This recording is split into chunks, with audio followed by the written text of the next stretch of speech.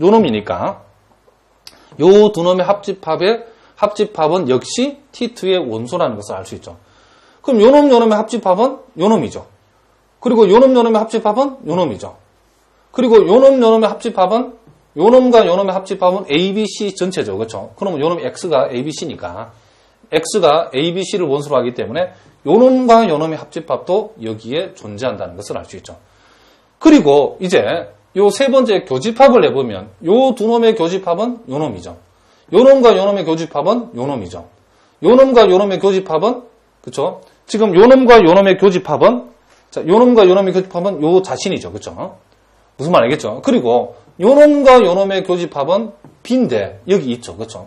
그러니까 요 원소들 간에 원소들로 주어진 요 집합들 간에 교집합을 어떻게 내더라도 그 교집합의 결과는 역시 그 집합의 원소라는 사실을 알 수 있죠. 그러니까 요 놈도 우리가 T2도 결국 해보니까 소위 뭐다? 이 X상의 하나의 요놈이 뭐가 된다? T2도 위상이 되어진다. 즉 1번, 2번, 3번 조건을 요놈이 만족한다는 것을 우리가 알 수 있답니다. 지금 여러분들이 이제 위상 공간을 우리가 위상 공간을 이제 챕터를 하나씩 쭉 지금부터 이제 공부를 해 나갈 텐데 그러니까 여러분들이 너무 그저 마음이 급한 마음이 앞서가면 안 된답니다. 아주 기본적인 것부터 꼼꼼하게 충분한 연습을 통해서 여러분들 기본기를 다져 나가면 또 위상 수학처럼 그죠 위상 수학이 정말 어려운 수학 중에 하나지만은 또 위상 수학처럼 또 쉬운 수학이 또 없다라고 말할 수 있을 만큼 여러분들 이, 이, 이 과정을 재밌게 공부할 수 있답니다. 그러니까 절대로 수학은 건너뛰면 안 된다. 단계를 꼭꼭 밟아서 공부하시면 된다는 거죠. 지금 지금 여러분 일단 우리는 뭐자 위상이 뭔지 알자는 거죠. 위상. 위상이 지금 결국 X상의 위상이라는 것은 X의 부분 집합들을 모아놓은 집합 쪽 T가 지금 X상의 하나의 위상이 될 수 있는 후보인데 무조건 X의 부분 집합을 모아놓은 집합 쪽이라 해서 무조건 위상이 되는 것이 아니고 1번, 2번, 3번 조건을 만족하도록 부분 집합들을 모아서 집합 쪽을 만들었을 때에 그것을 우리는 X상의 하나의 위상이 된다는 거죠. 그러면 집합 X의 부분 집합 중에 현재 우리가 T1, T2를 봤는데 이 T1, T2는 아무리 살펴봐도 1번, 2번, 3번 조건을 다 만족한다는 것을 알 수 있답니다.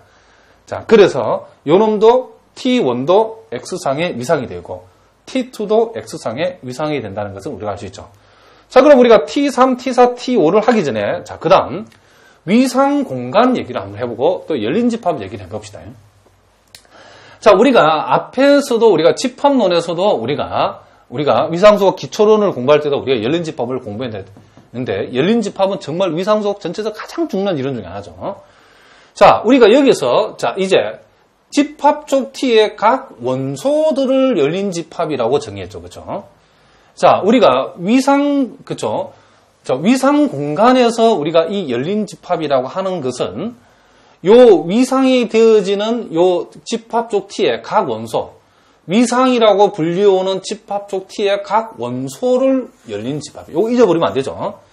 자, 자, 일단 여러분들이 머릿속에, 자, 요거에 관한 정확한 이제 개념 형성 우리가 이제, 우리가 몇 시간을 단계를 밟아 나가면서 우리가 위상 공간에서 이 열린 집합이 어떻게 이론이 전개되는가를 여러분 보면 알겠지만은 일단 여기서는 위상이라고, 위상이라고 불리울 수 있는 요 T의 각 원소들을 우리는 뭐다?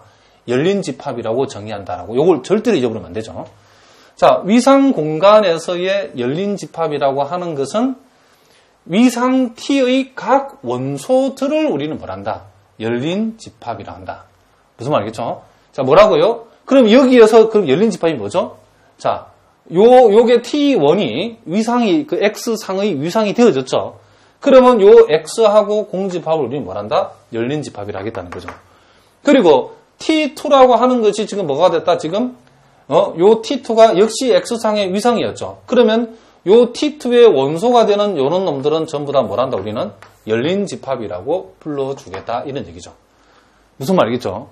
위상이, T, T2가 위상이, 그쵸? X상의 위상이 되어졌을 때에 그 원소들을 우리는 뭐란다? 열린 집합이라고 불러주겠다는 거죠. 그리고 우리가 x, t라고 표시하고 요 놈을 우리가 뭐라 한다 이제 위상 공간이라고 얘기해 주겠다. 자, 뭐라